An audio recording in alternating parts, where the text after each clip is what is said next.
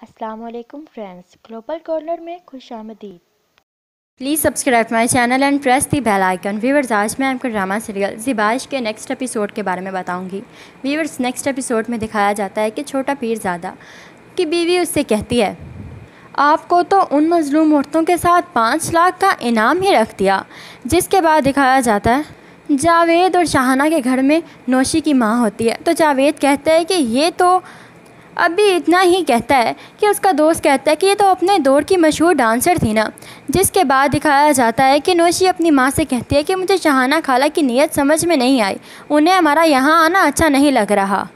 जिसके बाद दिखाया जाता है कि जो नताशा होती है, वो कह रही होती है, कोई न जाने क्या समझा, लेकिन ड्रॉप सीन ये था कहानी का।